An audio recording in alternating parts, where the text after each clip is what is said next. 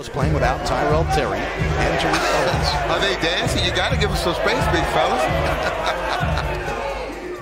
and it's won by Utah. Trent Forrest.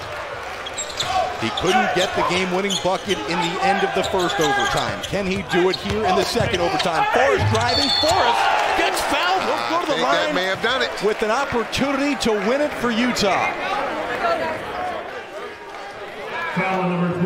Looks like Forrest got shaken up there. Forrest will go to the line where he's 7 of 9 so far.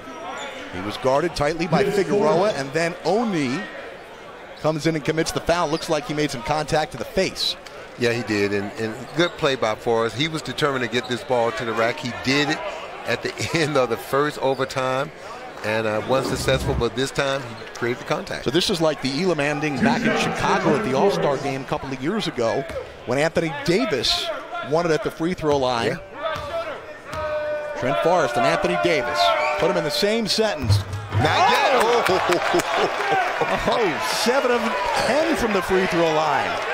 Forrest needs to hit this to win it. There is no way he's going to. He's By way, Similar to Anthony Davis, who also missed his first free throw in he's not going to miss 2019 it. NBA All-Star game. Dallas bench going crazy trying to rattle Forrest. The winningest player in Florida State program history trying to lift Utah to its second win out here in Vegas. Here's Forrest after missing the first. If he makes it, it's over. You